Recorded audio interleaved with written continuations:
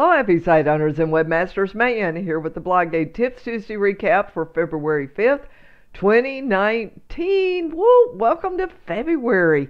I hope you're doing well with what you wanted to do with your year this year and things are going good for you. So, let's give you a clue what's going on this week for all your site success tips. And if you're watching this anywhere other than the BlogAid Facebook page, that's where the party is. So we do this every Tuesday. Be sure to come over and see us live, and you get the full story. you get to have a little one-on-one time with me too.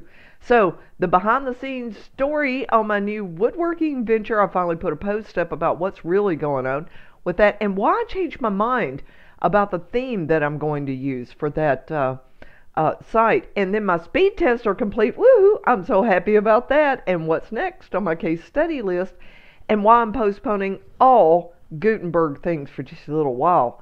And then what's in the new roadmap for Gutenberg Phase 2? There's a lot to it that's coming our way. And a webinar, hey designers, sign up for this webinar about um, on page building with Gutenberg. You're definitely going to want to see this, and I think that happens February 8th. And then, hey, you know, you've heard me talking about ADA compliance and the site's getting sued over this. Got a guide for you on how to check your site.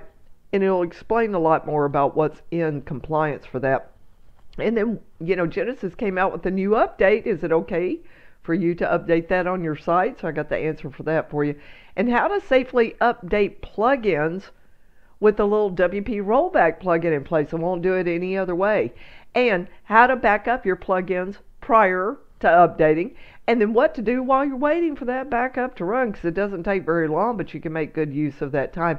And then the sticky bar plugins that I've heard clients, everybody's asking about sticky bars lately. I don't know what happened, but I'll tell you the ones that they're looking into and what I'm using and what I'm what's coming our way that I'm looking forward to, and I might just switch when it gets here.